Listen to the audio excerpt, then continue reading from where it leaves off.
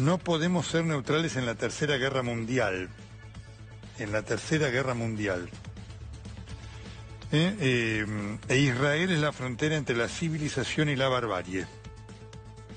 Mm, dos, textuales eh, de Javier Milei de Lof.